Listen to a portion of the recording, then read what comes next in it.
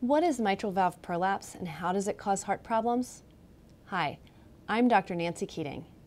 To answer that question, let's start with another question. What is the heart and what does it do? Here's the heart, pumping blood around the body. The heart valves help keep the blood flowing in the right direction. The valves are inside the heart. Now we're looking at the inside of the heart. Mitral valve prolapse is a disease of one heart valve, the mitral valve. The mitral valve sits right here between the left atrium and left ventricle, two of the heart's four chambers. The left atrium pumps oxygen-rich blood coming in from the lungs through the mitral valve and into the left ventricle. The left ventricle pumps the blood to the rest of the body.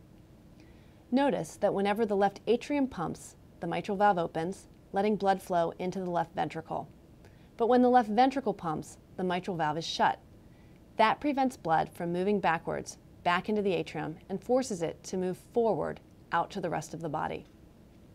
So that's what a healthy mitral valve does.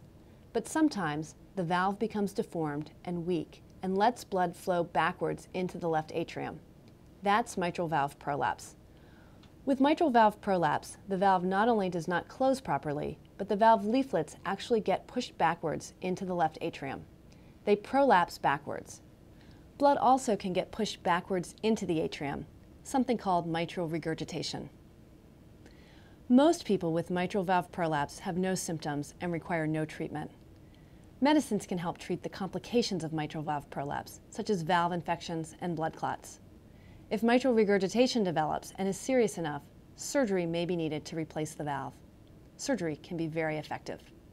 From Harvard, I wish you good health.